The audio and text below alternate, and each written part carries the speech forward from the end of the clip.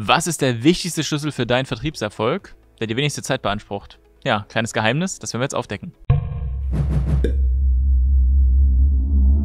Herzlich willkommen erstmal zum Video.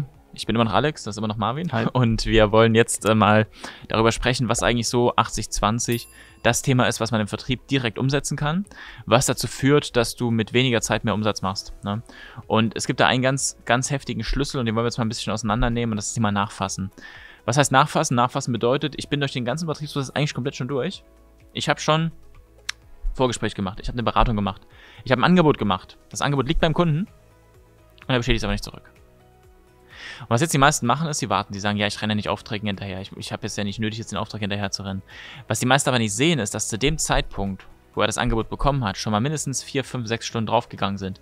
Allein mal bisschen Zeit, überhaupt mal mit der Person ein Vorgespräch zu führen, dann die Fahrt dahin, meist eine halbe Stunde, die Fahrt zurück eine halbe Stunde, dann noch drei, vier Stunden Beratung, nochmal eine Stunde Angebotserstellung, je nachdem, wie komplex die Produkte sind. Trotzdem geht eine Menge Zeit drauf. Selbst wenn es nur zwei Stunden sind, die draufgegangen sind, ist es super viel Zeit, die da weg ist. Ne? Das Thema ist dabei halt immer, dass die Leute sich halt wirklich irgendwo entweder zu fein sind oder halt sagen, ja, ich habe ja gar nicht die Zeit, die Leute nochmal anzurufen, die werden schon auf mich zukommen.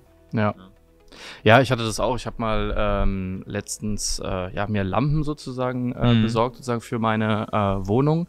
Und ja, das wurde auch geplant und so weiter von einem, ja, so Innenarchitekten äh, und Gestalter sozusagen. Und äh, ja, ich wollte diese Lampen halt unbedingt haben und es sollte auch schnell gehen. Ähm, und ich war eigentlich schon bereit zu kaufen. Aber ähm, ja, im Prinzip wurde dann mir einfach sozusagen das Angebot geschickt ne, Ja. und danach nicht mehr äh, sozusagen nachgefasst und gefragt, ob ich das jetzt haben wollte. Ich habe auch geschrieben, ja, ähm, können wir gerne so machen und so weiter, aber dann ist halt erstmal nichts passiert. ne? Ja. Und ich glaube, das geht ganz vielen so, dass halt ähm, auch einfach Angebote rausgeschickt werden und man dann einfach ähm, ja im, im Eifer des Gefechts im, im Alltag vergisst, äh, ja dann auch einfach zu fragen, ja wollen wir das jetzt machen, wann wollen wir damit starten? Ne? Ja, ich hatte auch so ein, so ein richtig, richtig schönes Beispiel. Ich war mit meiner Frau Gardinen kaufen und die haben uns da schon alles zurecht gemacht, so Gardinen irgendwie 700 Euro und äh, dann wollten wir direkt buchen. Also literally direkt buchen und das Mhm. System ging nicht. Hm. Es ging einfach die IT dahinter nicht. Und war dann halt so, ähm, sie hat halt dreimal versucht, das zu fixen, hat dann Techniker noch rangeholt und nach einer halben Stunde hat sie gesagt, okay, ich gebe es auf, ich, ich äh, schicke Mhm. Ihnen das nochmal per Mail zu, das Angebot, hat sie uns zugeschickt. Meine Frau hat auch gesagt, ja, 700 Euro für Gardinen ist eigentlich ganz schön viel, ne? Äh, also es ist halt übertrieben viel gewesen für ein bisschen Stoff im Endeffekt, dann hat ihr auch die Farbe auch nicht mehr gefallen. ja, man kennt es ja.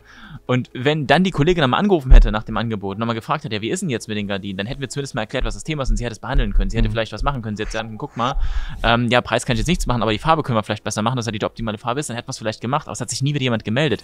Und nach so einem Eklat wieder passiert ist, Hm. und ich sage, wir wollten buchen vor Ort, ich hatte schon die Karte in der Hand und es ging einfach nicht.